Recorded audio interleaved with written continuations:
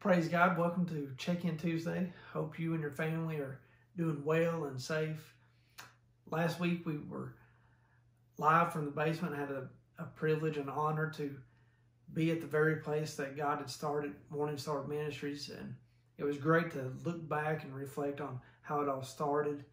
Uh, what God did with little, He's multiplied. And the ministry has been so fruitful, and we thank God for that. And uh, it, it's such a blessing to be able to look back and reflect on not only where God has brought you from as far as the storms in life, but also some of the many successes and uh, just great celebrations that lives being changed and souls saved. And so we thank God for all the good work He's done through this ministry, and we thank Pastor Scott and Sister Scott for allowing us in their home and uh, seeing what God has, has done. It was truly truly a blessing. Even with the Panthers home decor, it was still uh, very much a blessing. But again, thank you, Pastor Scott and Sister Scott, for uh, allowing us to do that. If you're new to Check In Tuesday, it's one thing that we do each and every week to give you an update on things we have going on in the ministry, some of our uh, scheduled events, plans, and then a, a brief word of encouragement. So moving into uh, the announcements, we have Reverend Steve Justice will be speaking tomorrow night. It'll be live streamed on our Facebook page at 7 p.m. and in person at Morning Star Church. Saturday morning, uh, Band of Brothers director Eric Summers will be bringing us a message that will be out on Facebook.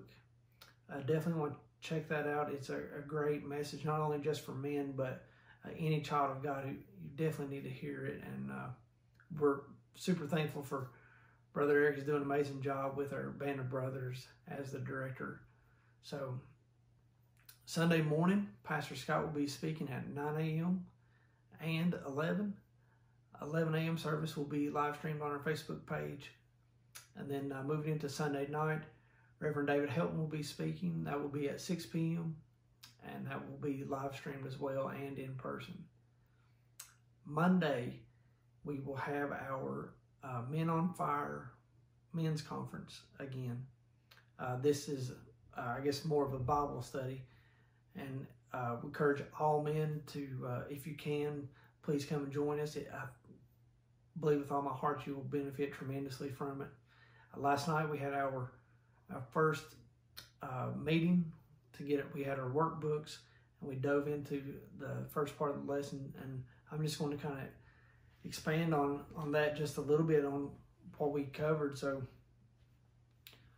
uh, brother Tony Mullins, he, he's leading this Bible study, and we talked last night about a foundation. Every Christian has to have a foundation on something that you, you're building your faith off of, and I think it's so it was so important and, and brought out that a lot of people get caught up in their identity of what they're foundation is. So you may be uh, in ministry as a, a, leader, and that's that's your foundation, or maybe it is your leader, your pastor. You're putting your foundation on them, and all those will fall unless it's built on a firm foundation. Just like a house, uh, any type of structure, it has to be built on a firm foundation.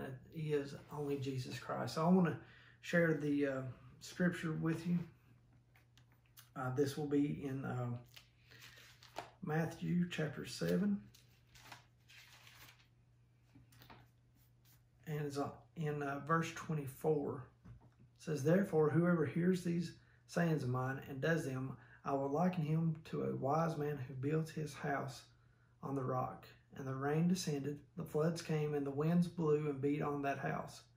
And it did not fall, for it was founded on the rock. But everyone who hears these sayings of mine and does not do them will be like a foolish man who built his house on the sand. And the rain descended, the floods came, and the winds blew, and it beat on the house, and it fell. And great was its fall. So you have to have a foundation before you start building anything. So uh, I want to show you a little uh, kind of demonstration, I guess. So for Christmas, I have got a, a 3D printer. Now, I'm a, a top secret nerd, but and I'll show you a little bit in this video. You have to to get this thing going, and, and basically, what if you're new to 3D printers, so am I. But you can create some different things, and uh, depending on your imagination and skill set, you can build all kinds of things. But you to get it started, you have to have the foundation, and in this case, the bed. It has to be right. The bed, the foundation has to be level.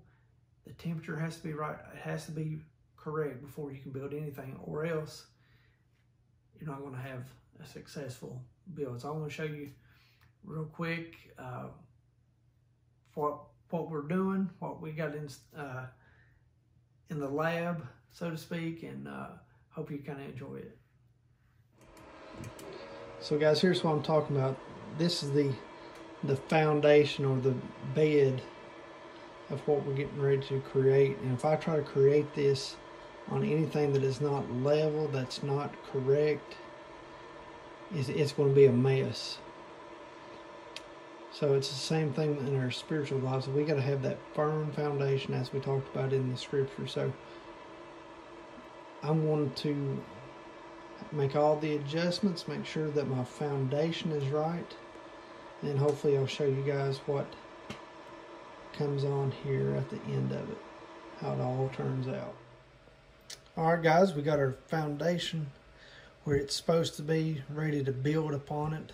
Just like in our spiritual life, we got our faith and hope in Jesus. That's our foundation. And our finished product we got the shield of faith that we created. Let me zoom in and get you a good picture. So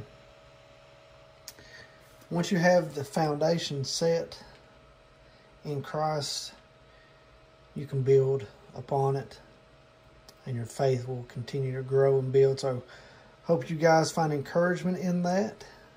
And uh, if you like a shield of faith, just make a post in the comments here and we'll see what we can do. But hope you guys have a blessed day and we'll see you again next week.